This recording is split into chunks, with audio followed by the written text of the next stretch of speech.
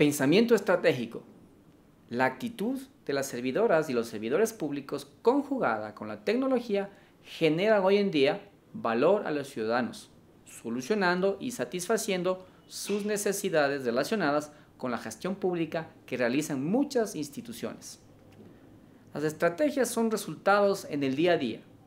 Son la aplicación del pensamiento estratégico, mismo que permite el cambio de paradigmas y con ello una época de resultados acorde a las expectativas de los ciudadanos. Sin duda los desafíos aparecen en la cotidiana gestión pública y se vendrán otros nuevos mañana, mismos que se orientan por la brújula de la constante dinámica de la satisfacción del servicio al ciudadano con calidez y calidad, quien exige cada vez mayor interacción y gestión oportuna. El cuadro de mando integral contribuye con la proactiva acción del futuro desde hoy, es decir, no permitir que la reactividad sea la que gobierne.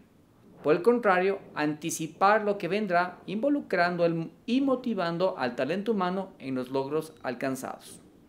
El tema de la presente sección es el entorno de la gestión pública, con una duración de 5 horas, analizando los siguientes temas. ¿Para qué crear valor? La estrategia y las barreras de implementación, cuadro de mando integral sector privado, cuadro de mando integral sector público, el marco jurídico y el plan de desarrollo.